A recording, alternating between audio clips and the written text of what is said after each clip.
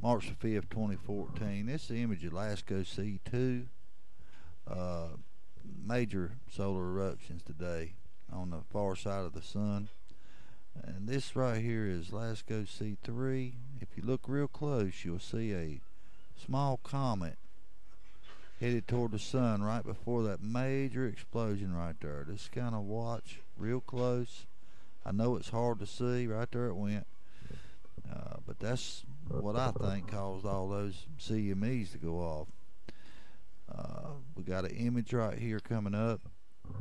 On the left is SOHO LASCO C2 looking toward the sun from Earth. And you can see the arrows pointing uh, to the to the uh, left and downward.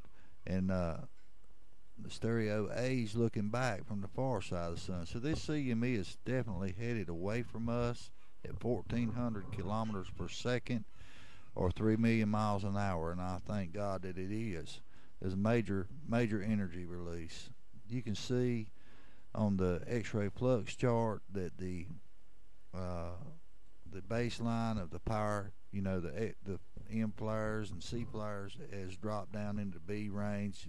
The sun expressed a massive amount of energy. On the KP chart, everything's quiet. No solar storms expected. And that's a good thing too. on uh, we got two uh, coronal holes turning Earth facing, which will sandwich our our planet. In between them, the magnetosphere, and there's a, a snake-like shaped filament in between those. Uh, we have to keep a watch on it. Hope, hopefully that it won't turn loose while it's Earth facing. Uh, be a bad day, I think. A lot of energy there. I'm take a look at the earthquakes. We've had, uh, I think, 26 today in the last 24 hours. One was a 6.2 in uh, Vanuatu.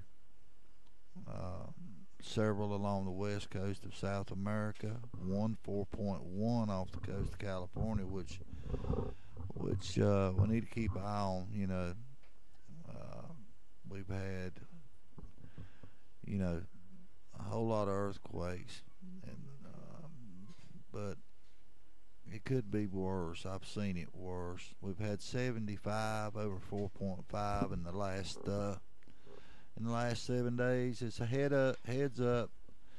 Uh, God bless.